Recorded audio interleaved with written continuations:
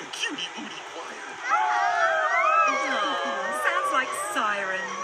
Which reminds me, we're late for work.